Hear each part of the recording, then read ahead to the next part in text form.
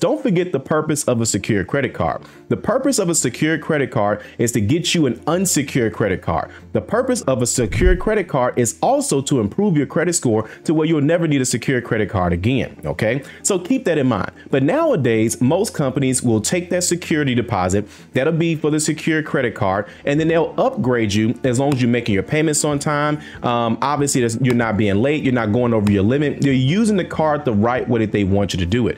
And in about three to six months, Hello everyone, today we're going to talk to you all about how to get a credit card with no credit history. Let's get right into it. So in this video, we're going to break down the proven strategies to get approved for your first credit card. And we're going to also show you how to build that credit from scratch using that credit card as well. All right. Now we're also going to show you all a couple ways to unlock a couple of rewards and benefits, even if you don't have any credit history. Okay. Now you don't necessarily have to have a zero score because uh, sometimes people have some type of score, uh, but it's pretty much if it's not established. So unestablished credit is usually if you have only student loans in your credit report or you simply have no accounts at all or less than one, probably by less than two accounts. That's usually considered no credit history or light credit history. Okay. Are you ready to get your first card? Let's get started. So the first thing that you have to understand is that there's different types of credit cards, especially if you're just starting out as a beginner. Okay. Uh, the first types of cards are going to be secured credit cards. These are essentially cards where you have to put a deposit and that deposit is going to be your limit. I'm to break this down a little bit further. Okay. And then an unsecured card is the opposite in which you get a credit card, but you don't have to give a deposit. And so essentially you're getting approved just because of you just building credit or your previous credit history.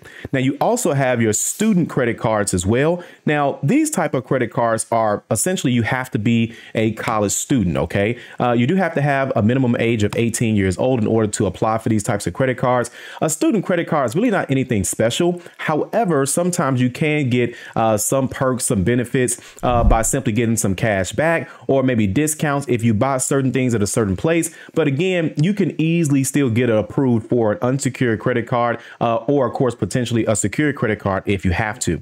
Then you have retail credit cards. Now, these are going to be easier to, to, to get unless you've had a previous relationship in the past and it wasn't best. But for the most part, these are going to be low limit credit cards just so they can sell you stuff. So don't be surprised if you get approved and it's like a 150 limit or a $250 limit, maybe a $300 limit, because again, they just want you just to start out by buying things or stretching out your purchase. They want to turn your $25 or $50 purchase into a $150 purchase by simply letting you get a credit card, especially if you don't have credit history. If you haven't done so already, be sure to like, share, and subscribe. Real quick, if you're looking for a cheap account that's going to help you build your credit score every single month, then check out this account. It's only $10 a month and it reports to all three credit bureaus. Scan this QR code to learn more or click the link in the description below. Now back to the video. Now let's talk about some strategies to increase your approval chances, especially for an unsecured credit card. But let's start off with a secure credit card, okay? Now, first off, you have to have a security deposit, and this is essentially money that you give the credit card issuer or the bank, and they keep that money. And that money is essentially going to be your credit limit. So, for example, let's say you give a credit card company or bank $500. That means that $500 is going to be your limit. So, if you swipe that credit card for $500, you've essentially maxed that credit card out even though they already have your money, that does not mean that they can actually take that money and use that towards the payment to actually pay your bill. They're holding on to that money to secure the fact that you're actually going to pay the bill. But here's the problem. Some people think that since the bank already has their money, they think that they're going to use that money to pay the bill when that's not the case. As a matter of fact, you don't get that money back unless you close out the account. Okay. And this is key to remember because some people, they start out with a secured credit card and not long ago, many credit card companies that gave you a secure credit card would not, I repeat, they would not upgrade that card or change it to an unsecured credit card, which means that some people still have that secure credit card. They have, they're now in the 600s, 700s, or even 800s, and that bank still has their money. If this is you, you need to go ahead and close out that account and get your money back because credit score to where you'll never need a secure credit card again. Okay. So keep that in mind. But now Nowadays, most companies will take that security deposit. That'll be for the secure credit card. And then they'll upgrade you as long as you're making your payments on time. Um, obviously, you're not being late. You're not going over your limit. They're using the card the right way that they want you to do it. And in about three to six months, they're going to upgrade you. And we'll go over some of those card companies that are actually doing that. Another option is, of course, becoming an authorized user. Now, this is only if you want to build a relationship with a certain bank so they can have you on their profile. So like Chase Bank or Navy Federal or whatever the case may be, any of these banks, any bank is typically good, especially if it's a bank that does more than just credit cards or they have business accounts. They do auto loans, they do auto loan refinancing, they do personal loans. The more accounts and the more activity that a bank sees you have, even if you're not the primary customer, you're going to be in their database and they're going to say, you know what? We like the account that this person is on. So this means that they're probably going to be just like this person in the future. So it's a great way to build a relationship, uh, you know, to do that. And of course, you can do this with a family member or a friend as well, too. All right. Then, of course, going with a student secured credit card, we talked about that. This is ideal, especially if you're a student and you don't have any credit history. A retail uh, store card, we talked about that.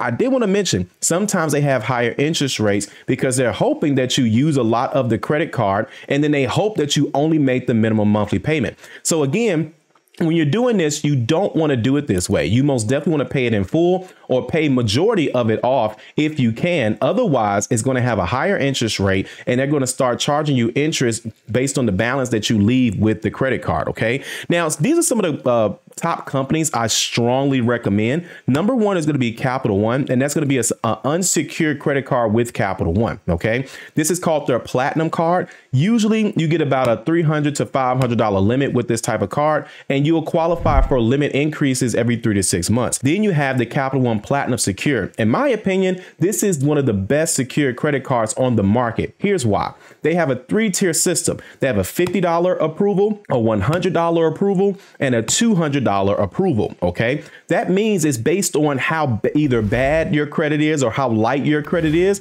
But chances are, if you've been denied for an unsecured credit card, then that means you're most definitely going to qualify again, unless you had a previous relationship and you messed it up with Capital One, then you can most definitely get approved with the $50 or $100 deposit. Or, of course, if they don't like anything on your credit report, then you're more than likely going to have to put down a $200 deposit. Okay. And then, of course, a Discover card. Now, what I like about Discover as well as Capital One is that they will upgrade your secure credit cards over time. Okay. Now, Discover, they have a flat $200 that's due, not a 50, not a 100. It's a flat 200. However, they do look to upgrade your card from a secure credit card to an unsecured credit card after about three to six months of being with them.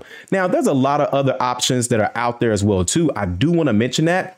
But one thing to keep an eye on is going to be the additional fees that they the fees that are there. And don't forget, when you get a credit card that has an annual fee, some of these cards, that's going to be your first bill. So keep that in mind as you are going through your credit card journey as well. Real quick, if you haven't done so already, be sure to download our free ebook. You can actually scan this QR code or you can click the link in the description below. Now back to the video. Next is going to be building and strengthening your credit. This is actually using the credit card the right way, okay? So how do you do that? Number one is keeping your balances low. That means if your credit limit is, let's say 300, it doesn't really matter what the limit is. You really want to focus on percentages, okay? So you want to be using 7 to 10% of the credit card. Let's just say 10% to keep the number easy, okay? Now, if your limit is 300, that means 10% times 300 is going to be $30. That doesn't mean that you can't spend more than 30. That doesn't mean that you should spend more than 30. That just means that if you want to see the best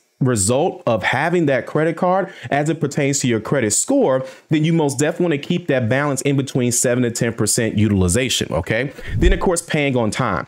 I always recommend that you use a small bill uh, like Apple Music, Netflix, Hulu, Spotify, and you're also accomplishing that 10% of the utilization as well. Now, since it's a bill that you already have, instead of you looking for things to go ahead and buy, it's easier to just go ahead and put that credit card on auto pay. When you put it on auto pay, you don't have to worry about it because when you think about it, your Apple Music already is on auto pay or whatever your streaming service is.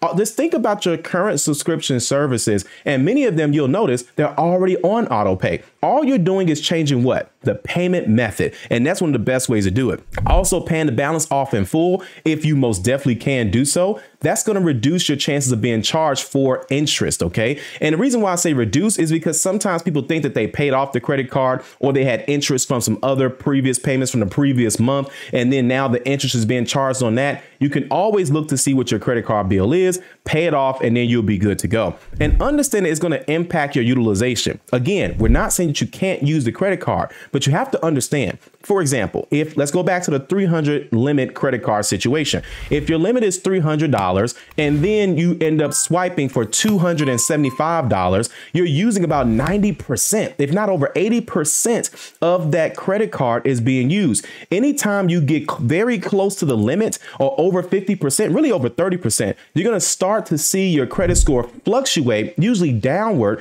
mainly because you're using too much of the credit card. If you want to see the best impact for your credit score as it pertains to your credit cards, it's always best to keep the utilization between 7 to 10%. Also, if you've used any of these credit cards that we talked about, Capital One, Discover, or you just want to give some advice, or you just want to just tell your story, let us know inside the comment section below. Next, we're going to talk about some common pitfalls to avoid. Now, again, overspending, we just talked about that. Not only do you not want to keep, uh, swipe more than the actual like seven to 10% as far as the utilizations is concerned and keeping it, you know, well under that limit, you don't want to go over the limit. If you go over the limit, many credit card companies are going to charge you an over the limit fee. Also carrying a high balance. If you're constantly carrying these balances and not paying it off in full, they're going to charge you interest and you're going to end up paying more than what you originally borrowed in the first place.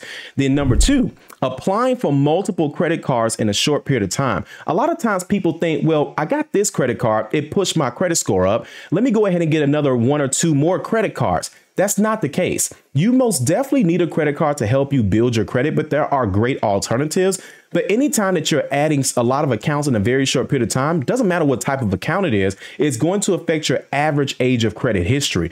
So essentially, if you keep getting new new accounts, you're going to have a very small history unless you're just starting out. I would say every three to six months, get about three or four credit cards or three or four accounts in general. And it can be a mix. This can be credit cards, personal loans, auto loans, mortgage loans, student Don't just get things to build your credit. Things are going to naturally happen uh, just throughout life in general, and you'll be able to build your credit that way for sure. And obviously missing payments, but what are we going to do to keep that from happening? Turning on auto pay. Thanks for watching this video. Be sure to like, share, and subscribe. We'll see you on the next one.